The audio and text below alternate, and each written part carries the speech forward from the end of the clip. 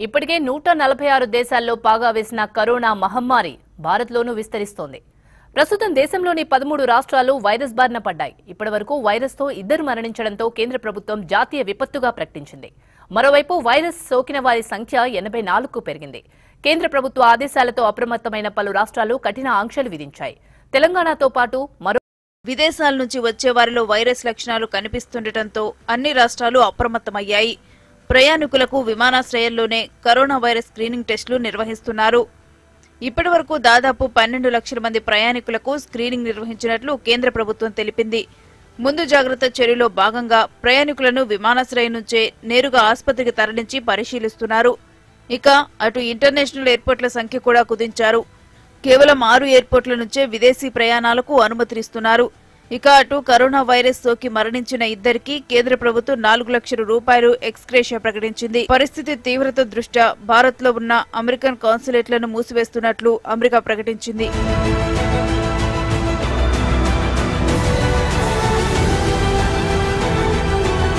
ఇప్పటి వరకు దేశంలో పదమూడు రాష్ట్రాల్లో కరోనా వైరస్ పాజిటివ్ కేసులు నమోదయ్యాయి. కరోనా వైరస్ వేగంగా విస్తరిస్తుండటంతో తెలంగాణ కర్ణాటక ఉత్తరప్రదేశ్ మధ్యప్రదేశ్ హర్యానా బీహార్ ఒడిశా ఢిల్లీ మహారాష్ట్ర గోవా ప్రభుత్వాలు ముందస్తు చర్యలు చేపట్టాయి. జనసమర్థ ప్రాంతాలైన స్కూళ్ళు కాలేజీలు షాపింగ్ మాల్స్ మరియు థియేటర్స్ను మూసివేశారు. ఐటీ రాజధాని బెంగళూరుతో పాటు రాష్ట్ర వ్యాప్తంగా షాపింగ్ మాల్స్ సినిమా థియేటర్లు నైట్ క్లబ్లు సమ్మర్ క్యాంపులు ఆధ్యాత్మిక కార్యక్రమాలు సదస్సులు సమావేశాలు వివాహాలను వారం రోజుల పాటు నిలిపివేయాలని ముఖ్యమంత్రి యడియూరప్ప ఆదేశాలు జారీ చేశారు. యూనివర్సిటీలను సైతం మూసివేస్తున్నట్లు తెలిపారు. సాఫ్ట్వేర్ ఉద్యోగులు ఇంటి నుంచే పనిచేసేలా విధుల్లో మార్పులు చేయాలని సూచించారు. కల్బుర్గిలో కరోనా వైరస్తో మరణించిన వ్యక్తికి సన్నిహితంగా ఉన్న నలభై ఆరు మందిని గుర్తించి వారిని ప్రత్యేకంగా ఉంచినట్లు అధికారులు తెలిపారు.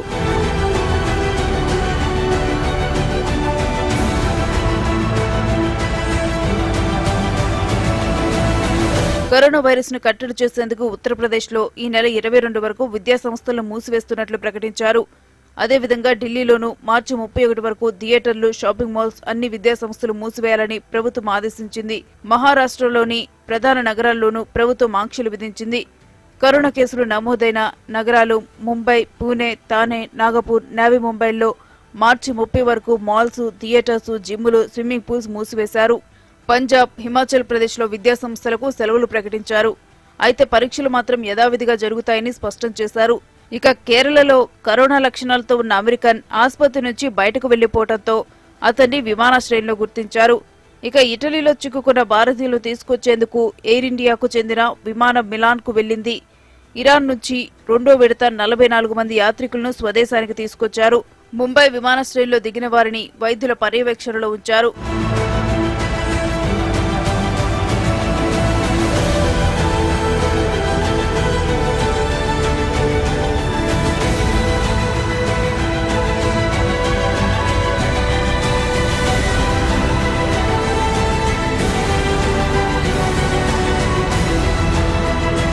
భయంకరమైన కరోనా వ్యాప్తిని అరికట్టేందుకు కేంద్రం మరిన్ని కఠిన నిర్ణయాలు తీసుకుంటోంది. కరోనాను జాతీయ విపత్తుగా ప్రకటించింది కేంద్ర ప్రభుత్వం. అంతర్జాతీయ సరిహద్దులు మూసివేసింది. ప్రధాని మంత్రి నరేంద్ర మోదీ ఈ నెల ఇరవై ఒకటిన చేయాల్సిన గుజరాత్ పర్యటనను వాయిదా వేసుకున్నారు. సుప్రీంకోర్టు ఢిల్లీ హైకోర్టులు కూడా కొన్ని నిబంధనలు విధించాయి. ఈ సోమవారం నుంచి అత్యవసర కేసులు తప్ప మిగిలినవేవి విచారణ చేపట్టకూడదని నిర్ణయించాయి. కోర్టు హాల్లోకి లాయర్లను మినహా మరెవరిని అనుమతించకూడదని తెలిపింది. దీనిలో భాగంగా కరోనా వైరస్ వ్యాప్తిని నిరోధించేందుకు ఉపయోగించే ఫేస్ మాస్కులు గ్లౌజులు హ్యాండ్ శానిటైజర్లను నిత్యావసర వస్తువులుగా కేంద్ర ప్రభుత్వం ప్రకటించింది. వీటిని నిత్యావసర వస్తువుల చట్టం పంతొమ్మిది వందల యాభై ఐదు పరిధిలోకి తీసుకుని వచ్చింది. దీంతో వీటి ఉత్పత్తి నాణ్యత సరఫరా ధరలను నియంత్రించే అవకాశం రాష్ట్రాలకు లభిస్తుంది. వాటిని అక్రమంగా పెద్ద ఎత్తున నిల్వ చేయడం నేరమని కేంద్రం పేర్కొంది. వీటి ధరలను పెంచి అమ్మటం కూడా నేరమని పేర్కొంది.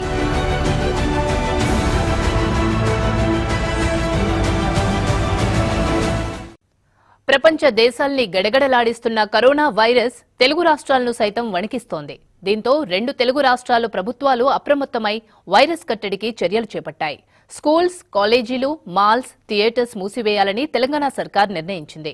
వైరస్పై ఆందోళన చెందవద్దని వదంతులను నమ్మవద్దని సూచించింది. తెలంగాణలో ఒక్క కేసు నమోదు కాలేదని విదేశాల నుంచి వచ్చిన ఒకరు ఇద్దరికే వైరస్ సోకిందని సర్కారు వెల్లడించింది.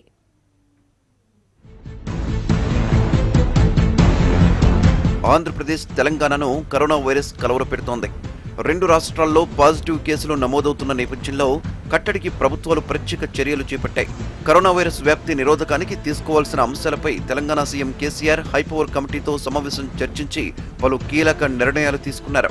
రాష్ట్రంలో భయపడాల్సిన పరిస్థితి లేకున్నా అప్రమత్తంగా ఉండాల్సిన అవసరం ఉందని తెలంగాణ ప్రభుత్వం అభిప్రాయపడింది.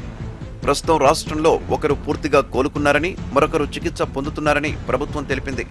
అలాగే మరో రెండు సస్పెక్టెడ్ కేసులు నమోదయ్యాయని వివరించింది. మరోవైపు ఇటలీ నుంచి వచ్చిన మంచిర్యాల జిల్లా నస్పూర్కు చెందిన యువకుడు జలుబు జ్వరంతో బాధపడుతుండటంతో ప్రభుత్వ ఆసుపత్రికి తరలించారు. ఐసోలేషన్ వార్డులో చికిత్స అందిస్తున్నారు. అటు జగిత్యాల జిల్లా బుగ్గారం మండలం గోపులాపురానికి చెందిన ఓ వ్యక్తికి కరోనా లక్షణాలు ఉండడంతో అతన్ని గాంధీ ఆసుపత్రికి తరలించారు. అతను పది రోజుల కింద దుబాయ్ నుంచి వచ్చాడు. విదేశాల నుంచి వచ్చే వారితోనే వైరస్ వ్యాపిస్తుండటంతో కరోనా ప్రభావిత దేశాల నుంచి వచ్చే వారిని శంషాబాద్ ఎయిర్పోర్ట్లో స్క్రీనింగ్ టెస్టులు నిర్వహిస్తున్నారు. వచ్చిన వారిని నేరుగా విమానాశ్రయం నుంచి వికారాబాద్లో ఏర్పాటు చేసిన కరోనా కేంద్రానికి తరలిస్తున్నారు.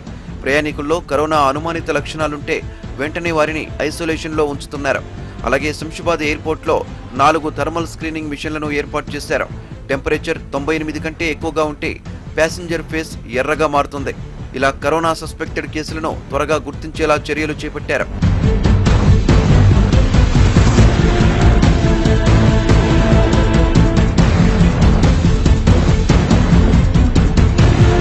కరోనా వైరస్పై పోరాటంలో భాగంగా తెలంగాణ ప్రభుత్వం చేపడుతున్న చర్యలను చిరంజీవి అభినందించారు. వైరస్ అరికట్టడంలో ప్రజల భాగస్వామ్యం కూడా అవసరమని అభిప్రాయపడ్డారు. సినిమా షూటింగ్లో పెద్ద సంఖ్యలో సాంకేతిక నిపుణులు పాల్గొంటారు కనుక తక్షణమే తన సినిమా షూటింగ్ రద్దు చేసుకుంటున్నట్లు చిరంజీవి ప్రకటించారు. త్వరలోనే ఏపీలోనూ కీలక ప్రకటన ఉండే అవకాశాలు ఉండొచ్చన్నారు చిరంజీవి.